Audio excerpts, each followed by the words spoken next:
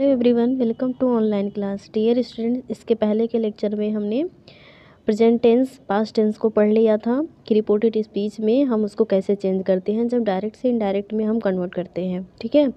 I hope कि आपको lecture देखने के बाद उतनी बातें समझ में आ गई होंगी। नेक्स्ट, अब हमारा जो टेंस आता है, वो फ्यूचर टेंस होता है, कि जब रिपोर्टेड स्पीच हमारी फ्यूचर टेंस में होती है तो हम कौन सी चेंजिंग करते हैं? रिपोर्टेड वर्ब में कोई चेंजिंग नहीं है। रिपोर्टेड वर्ब हमारा पास्ट टेंस में ही चल रहा है। चेंजिंग हमारी रिपोर्टेड स्पीच की हो रही है। इस चीज़ को हम बार बार आपको बता रहे हैं। यहाँ पे आप कंफ्यूज नहीं होंगे बिल्कुल भी। ठीक है? तो आज हम पढ़ेंगे फ्यूचर टेंस को बदलने के नियम, यानी रिपोर्टेड स्पीच में जब जो सेंटेंस होगा वो हमारा जब फ्यूचर टेंस में होगा, तब हम उसमें कौन सी चेंजिंग करेंगे? ज़्यादा चेंजिंग उसमें हमें कुछ नहीं करनी होगी, इसलिए हम आपको सिर्फ़ एग्ज़ाम्पल से ही उसको समझा देंगे। तो जल्दी से आपको समझ में आ जाएगा, ठीक है? तो सबसे पहले हमने थोड़ा सा डिफिनेशन लिखा हुआ है इसका। यदि रिपोर्टेड स्पीच के वाक्य में विल या सेल का प्रयोग हो तो डायरेक्ट स्पीच को इनडायरेक्ट स्पीच में परिवर्तित करते समय विल के स्थान पर वुड तथा सेल के स्थान पर सुड का प्रयोग अवश्य किया जाना चाहिए। तो डियर फ्रेंड्स आई अपनी बात समझ में आई होगी कि रिपोर्टेड स्पीच पे हमारा, यानी यदि हमारा रिपोर्टेड स्पीच किसमें है? प्रेजेंट इंडिफिनिट टेंस में है। प्रेजेंट इंडिफिनिट के साथ मेन वर्ब की फ़र्स्ट फॉर्म लगती है, तब हम उसको क्या करेंगे? यदि विल सेल लगा हुआ है तो हम उसको किसमें चेंज कर देंगे? सेल को सुड में करेंगे विल को वुड में करेंगे। बाकी हमें उसमें कोई और चेंजिंग नहीं करनी, यानी टेंस में हमें कोई चेंजिंग नहीं करनी है। टेंस जैसा है, वैसे ही हम उसको राइट कर देंगे। दूसरा हमने लिखा है, उसके बाद उपरोक्त नियमानुसार, यानी जो चेंजिंग आपने ऊपर देखा है, रिपोर्टेड वर्ब तथा रिपोर्टेड स्पीच के बीच कॉमा को हटाकर दैट का प्रयोग करें। यानी कॉमा हटेगा, दैट का प्रयोग होगा, वहाँ पे वही प्रक्रिया चलेगी, पहले वाली। दूसरी प्रक्रिया इसमें चेंजिंग कहाँ पे ये हो रही है कि रिपोर्टेड स्पीच के टेंस में कोई परिवर्तन नहीं करना चाहिए। मतलब कि ऐसा नहीं है कि आपका फ्यूचर इंडिफिनिट टेंस है तो हम उसको किसी और इंडिफिनिट टेंस में करेंगे। नो यदि हमारा reported speech future indefinite tense में है तो हम सिर्फ़ सेल वुड में चेंजिंग करेंगे। सेल विल में चेंजिंग करेंगे, ना कि हम टेंस में चेंजिंग करेंगे। टेंस को हम वैसे के वैसे ही राइट करेंगे, जैसा कि वो है। ठीक है? तो हमने यहाँ पे डायरेक्ट को बनाया है, हमको इनडायरेक्ट को करना है।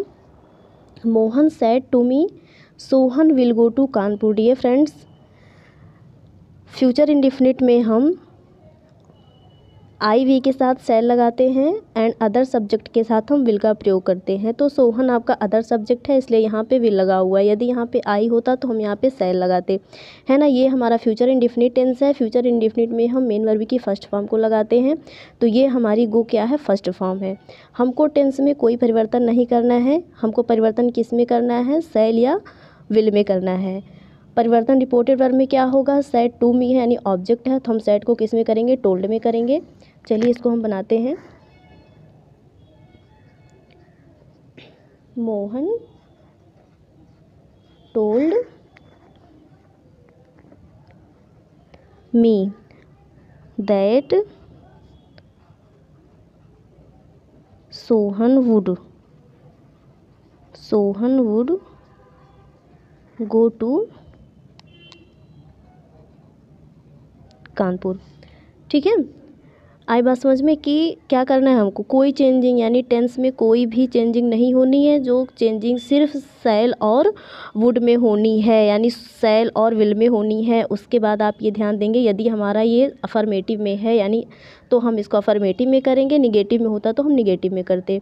ठीक है? नेक्स्ट हम चलते हैं फ्यूचर कॉन्टीन्यूस अब फ्यूचर कॉन्टीन्यूस में देखिए एग्ज़ाम्पल हम आपको समझा रहे हैं, क्योंकि इसमें कोई चेंजिंग है नहीं तो आपको नियम ज़्यादा लिखने की ज़रूरत नहीं है तो सिर्फ़ आप एग्ज़ाम्पल ही समझ लीजिए, है ना?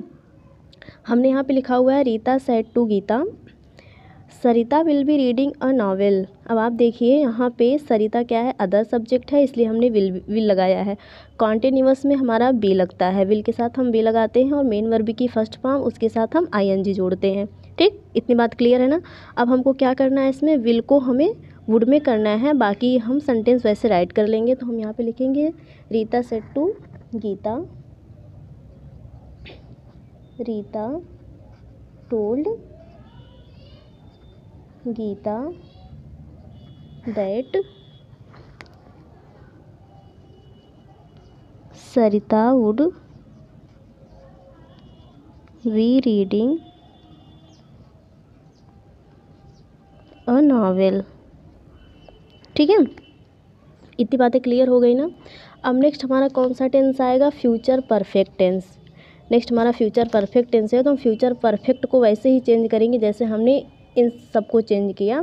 तो इसमें हम क्या करेंगे? देखिए, इसका भी इसका भी एग्जांपल हमने राइट किया हुआ है। Mukesh said to me the postman will have delivered the letters इसमें भी वही प्रक्रिया करनी है। ठीक है ना? मतलब विल को हम क्या करेंगे? वुड में चेंज कर देंगे। बाकी हम सेम टू सेम ऐसे राइट कर देंगे। तो हम यहाँ पर लिखेंगे, Mukesh told me Mukesh told me that the postman would have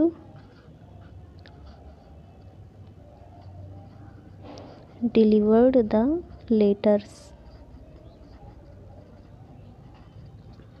Dear friends अब आप देखेंगे ये हमारा कौन सा है? फ्यूचर परफेक्ट टेंस है। फ्यूचर परफेक्ट टेंस में हम विल सेल के साथ हैव लगाते हैं और इसमें हम मेन वर्ब की थर्ड फॉर्म को लगाते हैं। ठीक है? नेक्स्ट अब हम चलते हैं अगले टेंस पे फ्यूचर परफेक्ट कंटिन्यूस टेंस में। इसमें हम देखिए विल हैव बीन का प्रयोग करते हैं। हमने यहाँ पे निगेटिव वाला राइट किया हुआ है। हम आपको ये बार बार बता रहे हैं कि यदि हमारा सेंटेंस अफर्मेटिव में होगा तो हम इनडायरेक्ट बनाते समय अफर्मेटिव में चेंज करेंगे। यदि वो हमारा निगेटिव में होगा तो हम उसको निगेटिव में चेंज करेंगे। ठीक है?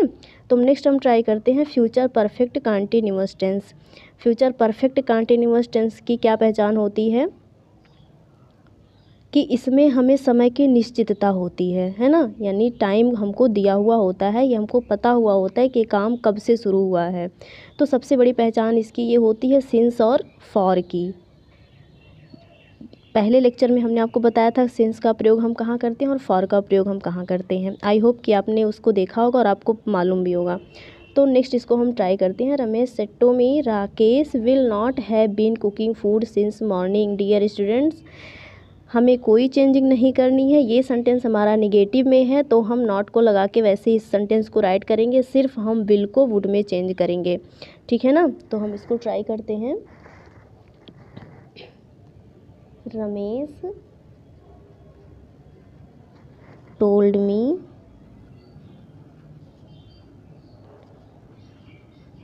that Rakesh would not have been cooking food since morning since morning यहाँ पे सिंस मॉर्निंग है, यानी कि सुबह से। हमने आपको बताया था कि जब भी दिन का पहर हो, चाहे सुबह हो, शाम हो, दोपहर हो, रात हो, वहाँ पे हम सिंस का प्रयोग करते हैं क्योंकि वो हमारा निश्चित होता है, ना कि अनिश्चित होता है। या सप्ताह के दिनों के जब नाम होते हैं संडे मंडे ट्यूसडे वहाँ पे भी हम सेंस का प्रयोग करते हैं। या फिर जब महीनों के दिनों के नाम होते हैं, जैसे कि जनवरी, फरवरी, मार्च, अप्रैल, वहाँ पे भी हम सेंस का ही प्रयोग करते हैं। और यदि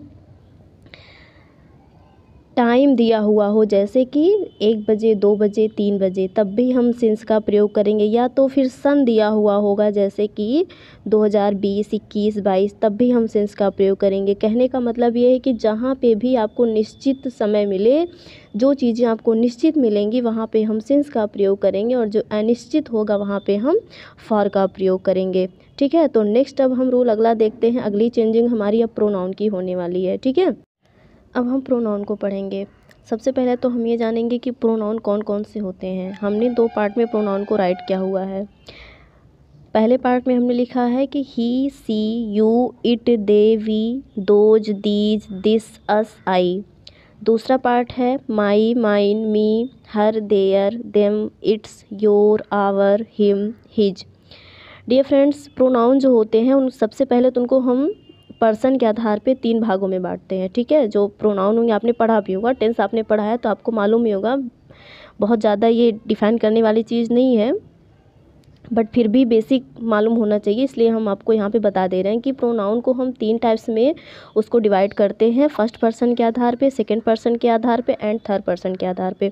हमने राइट भी किया हुआ है, क्योंकि किसी भी चीज़ को जानने से पहले हमें उसकी बेसिक चीज़ों को जानना पड़ता है, ठीक है? तो हमने यहाँ पर लिखा हुआ है पर्सन के आधार पर प्रोनाउन को तीन भागों में बांटा गया है। वो कौन कौन से हैं? पहला फ़र्स्ट पर्सन है, दूसरा सेकेंड पर्सन है, तीसरा थर्ड पर्सन है।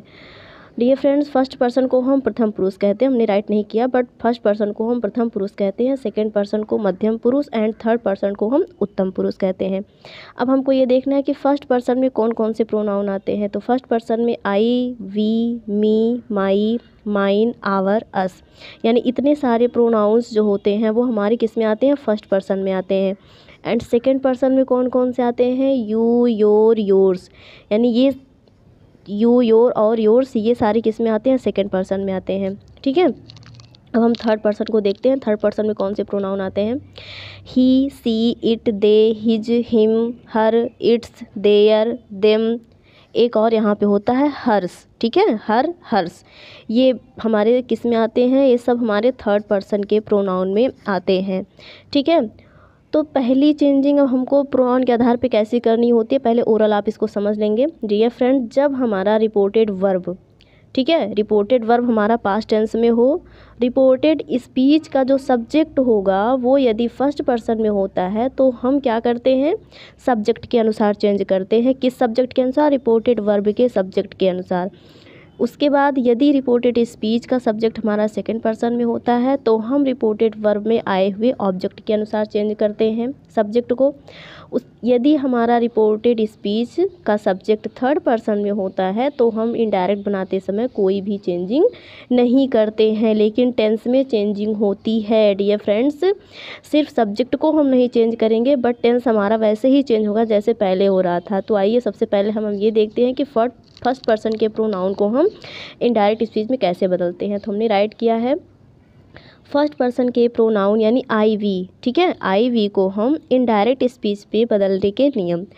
रूल नंबर वन यदि रिपोर्टेड स्पीच में कर सब्जेक्ट यानी करता रिपोर्टेड स्पीच का जो सब्जेक्ट होगा मेन जो होगा, वो क्या होगा? फ़र्स्ट पर्सन ऑफ़ प्रोनाउन यानी आई वी होगा।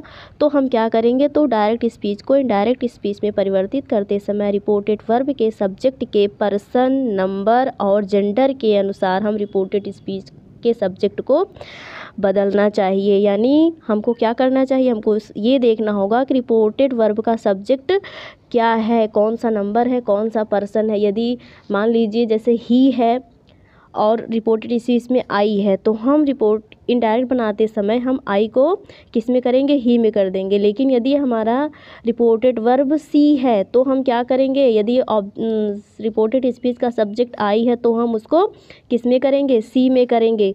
मतलब ध्यान हमको यही देना है कि रिपोर्टेड स्पीच का सब्जेक्ट यदि आई भी दिया हुआ है तो हमको चेंज किसके हिसाब से करना होगा? रिपोर्टेड वर्ब में आए हुए सब्जेक्ट के अनुसार, यानी कॉमा के बाहर वाला जो सेंटेंस होगा, उसके उसका जो सब्जेक्ट होगा, उसके अनुसार हम उसमें सारी चेंजिंग करेंगे। ठीक है?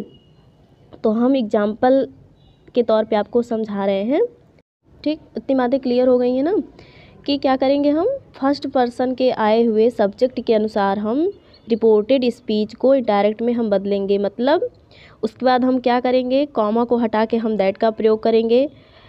रिपोर्टेड स्पीच के जो टेंस हैं, उसमें चेंजिंग हमें करनी होगी, यानी वो चेंजिंग पहले की तरह ही होगी और जो निकटता सूचक शब्द होंगे, उनको हम दूरी प्रकट करने वाले शब्दों में अवश्य चेंज करेंगे। यानी ऐसा नहीं कि हम ये सब नहीं करेंगे, सारी प्रक्रिया आपकी होगी, लेकिन जो आपका सब्जेक्ट होगा रिपोर्टेड स्पीच का, यदि वो फ़र्स्ट पर्सन में होगा तो हम ये देखेंगे कि रिपोर्टेड वर्ब का जो सब्जेक्ट है, वो कौन सा पर्सन है कौन सा नंबर है और कौन सा जेंडर है।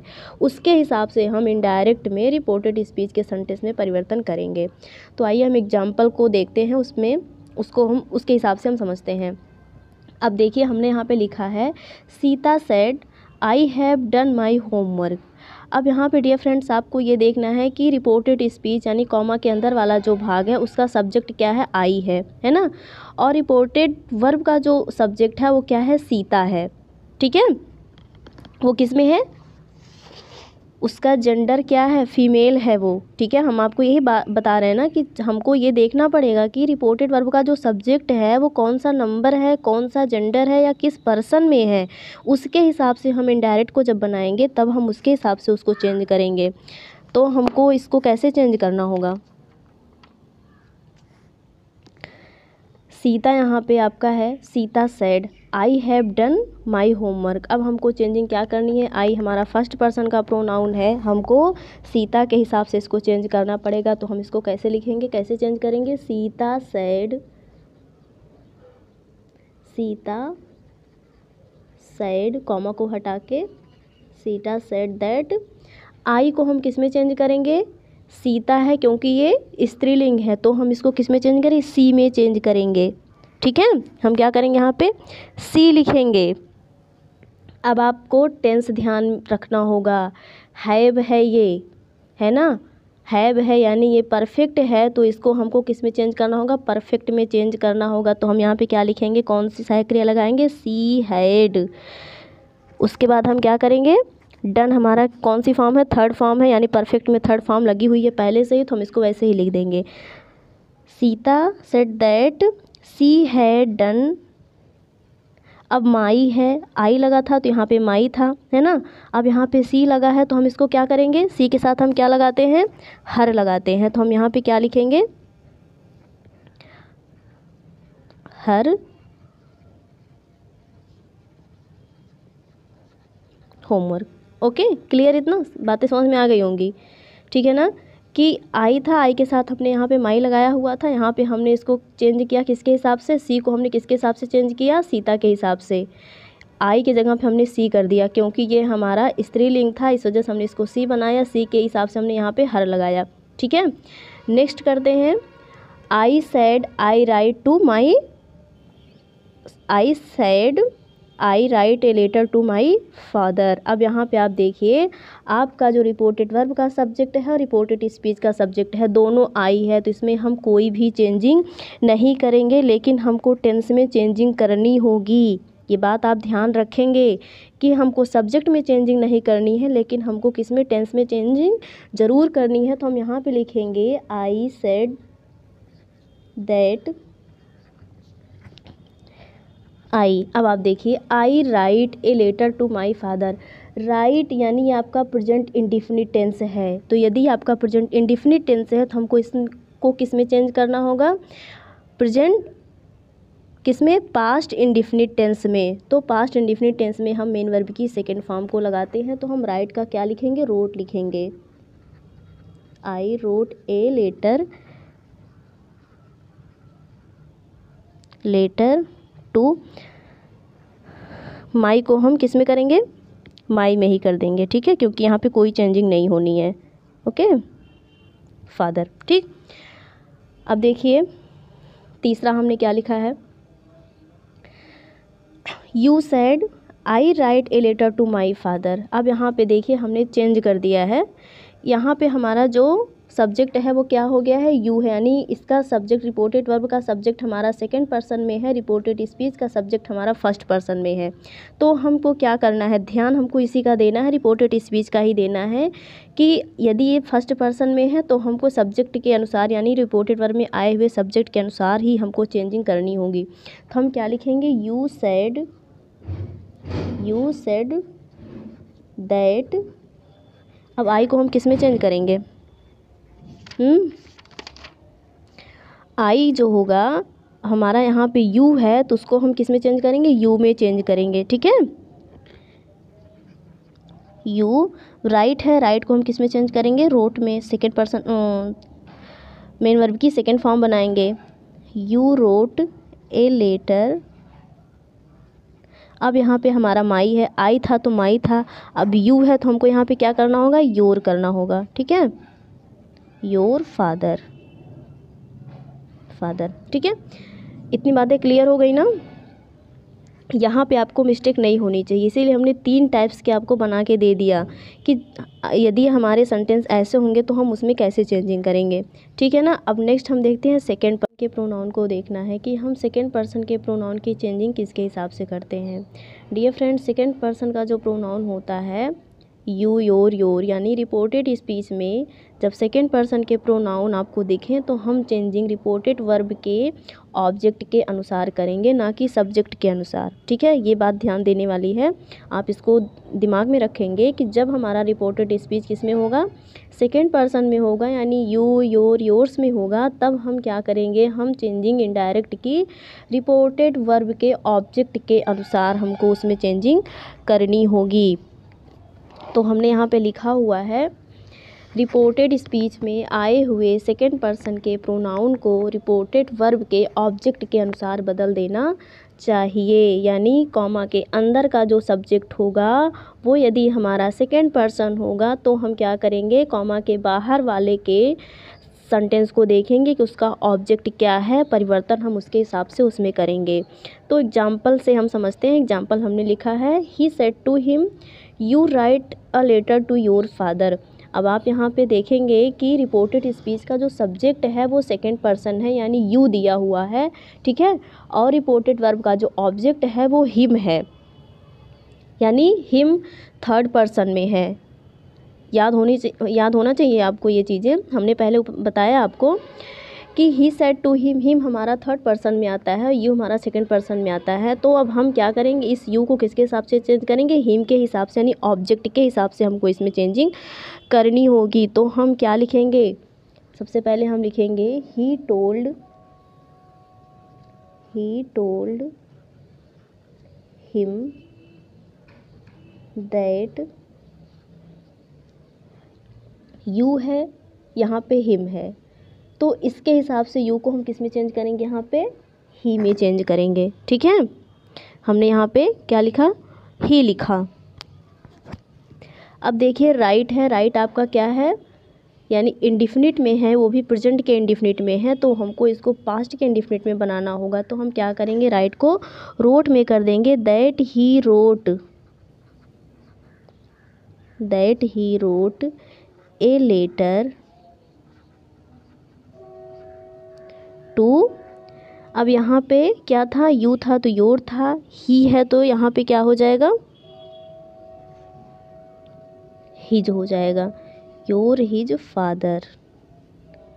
ठीक है ना? इतनी बातें समझ में आ गई। नेक्स्ट देखते हैं। He said to them he said to them you are happy अब यहाँ पे आप देखिए यू हमारा सेकेंड पर्सन में है और ये हमारा किसमें है? थर्ड पर्सन में तो हमको इसको चेंज करना होगा। किसमें चेंज करना होगा? देम के हिसाब से हम इसको चेंज करेंगे। तो हम क्या लिखेंगे? He told them that they were happy ठीक है? हम क्या लिखेंगे? He told them he told them that you को हम क्या करेंगे? दे करेंगे। क्योंकि रिपोर्टेड वर्ब का ऑब्जेक्ट हमारा देम है। दे के हिसाब से हम क्या लगाएँगे? वर लगाएँगे, ठीक है?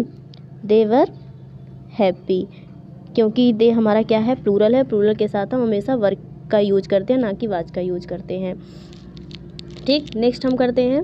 He said to you you are happy अब यहाँ पे आप देखिए ही सेट टू यू ये भी ऑब्जेक्ट हमारा यू है और ये भी ऑब्जेक्ट हमारा यू यानी दोनों हमारा किसमें है? सेकेंड पर्सन में ही है। तो हम यहाँ पे क्या करेंगे? कोई चेंजिंग नहीं करेंगे, बस हमको टेंस में चेंजिंग करनी होगी। तो हम क्या करेंगे? He told you he told you ये चीज़ आप ध्यान देंगे टेंस में परिवर्तन होना है, ठीक है? He told you that you were happy you है, यू के साथ हम क्या लगाते हैं? वर लगाते हैं, वाज नहीं लगाते हैं। नेक्स्ट हम ट्राई करते हैं he said to her you you are happy अब यहाँ पे आप देखिए ऑब्जेक्ट जो है वो आपका क्या हो गया है? जेंडर आपका चेंज हो गया है है ना? हमने बताया आपको कि हम क्या करेंगे, हमको नंबर पर्सन जेंडर सब देखना है, उसके हिसाब से हमको चेंजिंग करनी होगी।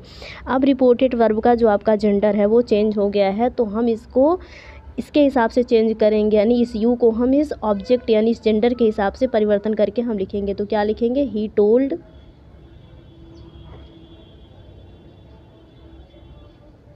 he told her that अब यू को हम क्या करेंगे? हर है तो हम यहाँ पे क्या करेंगे? सी करेंगे। ठीक है? सी सी एक वचन है तो हम एक वचन के साथ क्या लगाएँगे? वाज लगाएँगे। She was happy.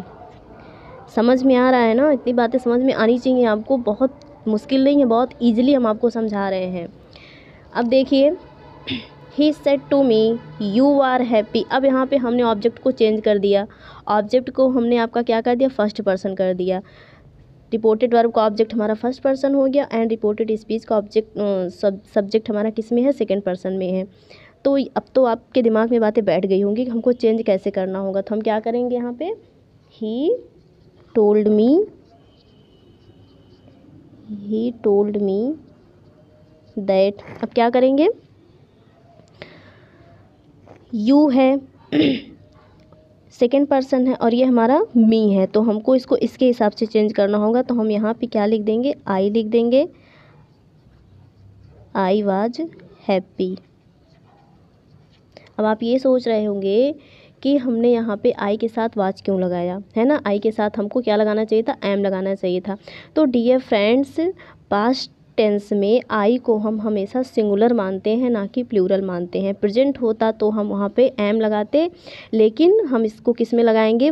हम पास्ट में चेंज करेंगे तो पास्ट में आई को हम हमेशा क्या मानते हैं? सिंगुलर मानते हैं तो इसलिए हमने यहाँ पे वाज लगाया है। ये बातें आपको क्लियर होनी चाहिए, आप कंफ्यूज इसमें नहीं होंगे, ठीक है? अब हमारा नेक्स्ट आता है थर्ड पर्सन के प्रोनाउन को हम कैसे चेंज करेंगे? तो हम देखते हैं थर्ड पर्सन के प्रोनाउन को हमको कैसे चेंज करना है। डियर फ्रेंड्स थर्ड पर्सन का जो प्रोनाउन है, वो क्या क्या है? देखिए, हमने राइट किया हुआ है थर्ड पर्सन के प्रोनाउन में he his him she her hers they their them जब ये सारे आते हैं तो हम क्या करते हैं? डायरेक्ट से इनडायरेक्ट बनाते समय हम सब्जेक्ट में कोई भी परिवर्तन नहीं करते हैं। उसको हम ज्यों का त्यों राइट कर देते हैं, लेकिन हम परिवर्तन किसमें करते हैं? टेंस में करते हैं। यानी टेंस में हम परिवर्तन करेंगे, लेकिन हम उसमें कोई भी परिवर्तन नहीं करेंगे। किसमें? सब्जेक्ट में हमको कोई परिवर्तन नहीं करना होगा। बाकी जो टेंस है, उसमें हम चेंजिंग कर लेंगे। तो हमने लिखा है he said to her he is very happy अब देखिए, आपका जो रिपोर्टेड स्पीच का सब्जेक्ट है, वो ही है, यानी हमारा क्या है, वो थर्ड पर्सन है तो हम उसमें कोई चेंजिंग नहीं करेंगे, हम उसको सेम टू सेम राइट कर देंगे। ठीक है? सबसे पहले हम क्या लिखेंगे? He told her that he was very happy. ठीक है ही के साथ हमने क्या लगाया? यहाँ पे वाज लगाया। ही इज़ था, ये हमारा प्रेजेंट टेंस में था, हमको इसको किसमें चेंज करना था? पास्ट टेंस में कर, करना था। पहले के लेक्चर को आदि आपने देखा होगा तो आपको टेंस मालूम होंगे कि हमको किसको किसमें चेंज करना है। अब हम आपके लिए थोड़ा सा विशेष नियम बताते हैं कि जो थोड़े से कुछ अपवाद टाइप से होते हैं उसको हम कैसे करते हैं? यानी कुछ विशेष रूल्स भी होते हैं जिनको हमको फॉलो करने होते हैं। यानी वो सेंटेंस में आपके आ जाते हैं, तब आप क्या करेंगे? यानी कि सेंटेंस को हम कैसे चेंज करेंगे? आप देखेंगे, यदि रिपोर्टेड वर्ब में ऑब्जेक्ट ना दिया गया हो तो उसे अपनी ओर से थर्ड पर्सन मानकर इनडायरेक्ट इसमें परिवर्तन करते हैं। डियर फ्रेंड्स अब यहाँ पे आप देखिए कि यदि आपको डायरेक्ट प्रोनाउन के साथ आ रहा है। यानी आपके रिपोर्टेड स्पीच में प्रोनाउन है और आपका जो रिपोर्टेड वर्ब है, उसमें कोई ऑब्जेक्ट नहीं दिया गया है तो हम क्या करेंगे? उसको थर्ड पर्सन का मानेंगे। यानी कि ऑब्जेक्ट हम अपने आप से, स्वयं से थर्ड पर्सन का मान लेंगे और उसके हिसाब से हम चेंजिंग कर लेंगे। जैसे हमने लिखा है he said you are a student अब आप यहाँ पे देखेंगे सेट के बाद कोई भी ऑब्जेक्ट नहीं है। ठीक है? कोई ऑब्जेक्ट नहीं है, लेकिन हमने इनडायरेक्ट में मान लिया, टू हिम मान लिया, यानी ही सेट टू हिम वह उससे कहता है। ठीक है? वो उसने किससे कहा? उससे कहा। हिम हमारा थर्ड पर्सन है तो हमको क्या मानना है? थर्ड पर्सन मानना है। तो हमने यहाँ पे हिम मान लिया तो उसके बाद यू को हमने चेंज कर दिया। ठीक है? ही के हिसाब से सॉरी हिम के हिसाब से हमने चेंज कर दिया। तो हमने क्या बना दिया इसका? He said that he was a student बात समझ में आई कि नहीं आई? एक बार आप रिपीट कर लीजिएगा कि जब भी हमारा रिपोर्टेड वर्ब में ऑब्जेक्ट ना दिया गया होगा, यानी सेट के बाद कोई ऑब्जेक्ट नहीं होगा तो हम क्या करेंगे? इनडायरेक्ट बनाते समय हम उसको अपने हिसाब से थर्ड पर्सन पर्सन के सब्जेक्ट को ऑब्जेक्ट को हम वहाँ पे मानेंगे। उसके हिसाब से हम इनडायरेक्ट स्पीच में परिवर्तन करेंगे। जैसे कि हमने एग्जांपल यहाँ पे लिखा हुआ है he said to you are I student हमने यहाँ पे इसको टू हिम को ऑब्जेक्ट माना हुआ है है ना? टू हिम को ऑब्जेक्ट मान लिया था तो हमने इनडायरेक्ट बनाते समय क्या किया? दैट कंजक्शन दैट का प्रयोग करके हिम के हिसाब से हमने यू को किसमें चेंज कर दिया? ही में चेंज कर दिया। और ही के हिसाब से हमने वा, वाज लगाया क्योंकि ही हमारा सिंगुलर सब्जेक्ट है तो हम यहाँ पे वाज का प्रयोग करेंगे। ठीक है ना? इतनी बातें क्लियर हो गई। अब हमने यहाँ पे आपको थोड़ा सा समझने के लिए कुछ राइट किया हुआ है कि हम पर्सन को कैसे समझेंगे उसको किस सूत्र के हिसाब से समझते हैं? तो एस ओ एन के हिसाब से हम उसको समझते हैं। यानी फ़र्स्ट पर्सन को हम एस कहते हैं सेकेंड पर्सन को हम ओ कहते हैं एंड थर्ड पर्सन को हम एन कहते हैं। ऐसा हम क्यों कहते हैं एस ओ एन क्योंकि फ़र्स्ट पर्सन में जो एस होता है एस का मतलब होता है सब्जेक्ट तो हम क्या करते हैं? फ़र्स्ट पर्सन के, यानी सब्जेक्ट को हम किसके हिसाब से चेंज करते हैं? सब्जेक्ट के अनुसार चेंज करते हैं. यानी फ़र्स्ट पर्सन हमारा सब्जेक्ट के हिसाब से चेंज किया जाता है. एंड जो सेकेंड पर्सन हमारा होता है, वो ओ है. तो इसको हम किसके हिसाब से चेंज करते हैं? ऑब्जेक्ट के हिसाब से चेंज करते हैं. थर्ड पर्सन हमारा क्या है? एन है. यानी नो चेंजिंग इसमें हमें कोई भी चेंजिंग नहीं करनी है. तो इसलिए इसको क्या बना दिया जाता है? एस ओ एन और इसका जो संख्यात्मक इसको हम जो बताते हैं, यानी एक सौ तेईस, ठीक है? तो एक को हम क्या करते हैं? फ़र्स्ट पर्सन के अंतर्गत रखते हैं और टू को हम सेकेंड पर्सन के अंतर्गत एंड थ्री को हम एन यानी थर्ड पर्सन के अंतर्गत रखते हैं। तो ये हमारा एस हो गया। टू के नीचे ओ हो गया एंड थ्री के नीचे एन हो गया, यानी एस ओ एन एक सौ तेईस, ठीक है? एक सौ तेईस का मतलब हो गया first person second person third person S O N का मतलब हो गया subject object and no changing ठीक है? यहाँ पे हम सब्जेक्ट के हिसाब से चेंज करना है ऑब्जेक्ट के हिसाब से चेंज करना है एंड इसमें नो चेंजिंग थर्ड पर्सन में हमें कोई चेंजिंग नहीं करनी होती है. टेंस में हम चेंजिंग करते हैं दूरी प्रकट निकटता सूचक शब्दों में हम चेंजिंग करते हैं, लेकिन हम सब्जेक्ट में कोई भी चेंजिंग नहीं करते हैं। तो डियर फ्रेंड्स आई होप ये लेक्चर आपको समझ में आया होगा, पसंद भी आया होगा। तो नेक्स्ट लेक्चर में हम मिलते हैं नए टॉपिक के साथ। Thank you